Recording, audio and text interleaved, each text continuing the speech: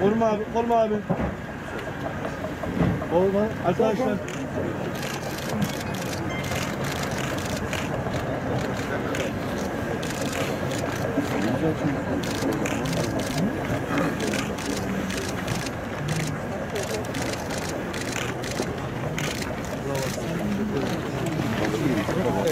Devam edelim arkadaşlar.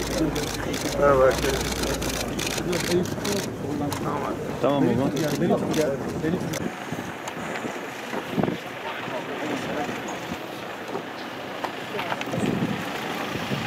Arkadaşlar geniş arkadaşlar. Biraz geniş.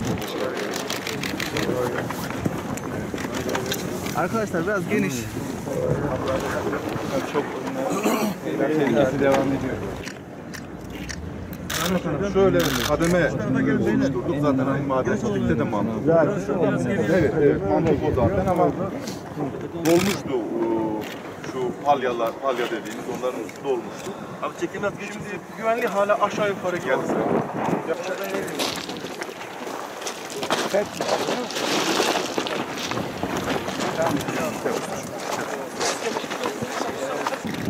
Burayı şöyle biraz buradan itibaren Esas ayarlarını alır.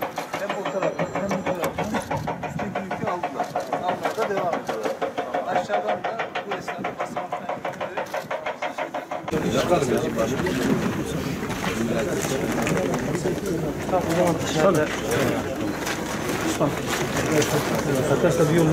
Şirvan ilçemizin Maden köyünde e, açık e, bakır madeni sahasında bölgede oluşan bir heyelan sonucu e, 16 i- çalışanımız heyelan altında e, kalan e, kaldığı bir e, elim kazayı yaşadık.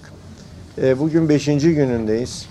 E, bugüne kadar 6 e, çalışan e, heyelan altından çıkartıldı.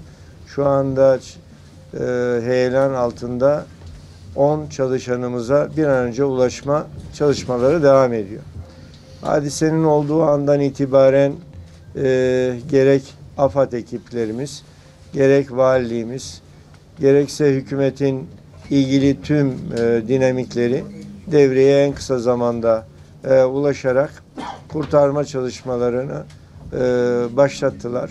Tabii e, 16 vatandaşımızın toprak altında olması, e, bugün itibariyle 6 tanesinin toprak altından çıkartılmış olması ama 10 e, vatandaşımızın toprak altından çıkartılmasını hele hele sağ ve canlı bir şekilde çıkartabilme ümidini kaybetmeden bu çalışmaları e, 24 saat kesintisiz yapabilme gayreti e, devam ediyor. Arzumuz ve temennimiz en kısa zamanda e, toprak altındaki 10 çalışanımıza en kısa zamanda ulaşabilmek. Bugün ümit var bir e, gün olarak AFAD Başkanımızın e, bize verdiği bir briefingten aldığımız değerlendirme bugün oldukça ümitliler ve inşallah hava da müsaade ediyor. Çalışmalar da arzu edilen düzeyde giderse bugün de eee,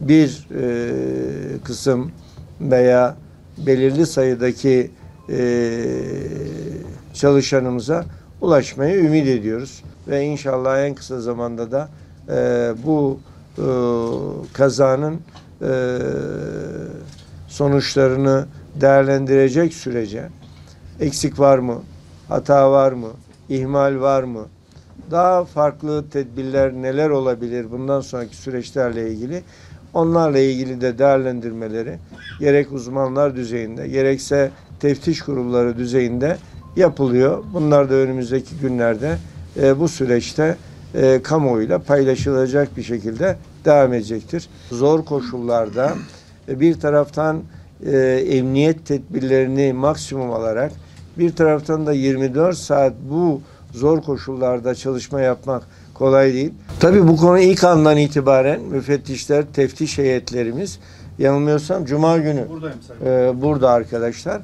Ama bizim gerek bakanlığımızın, gerek Enerji Bakanlığı'nın e, teftiş heyetleri ve uzmanlar e, burada e, bunlarla ilgili raporlarını e, inşallah önümüzdeki günlerde değerlendireceğiz. Zonguldak Kilimli'de de e, bizim Çalışma ve Sosyal Güvenlik Bakanlığı e, tarafından e, kapattığımız e, bir maden ocağında yeniden açılma 5 ay süresiyle kapattığımız yeniden açmak için çalışmalar yapılan ocakta da ne yazık ki bir, bir çalışanımızı kaybettik.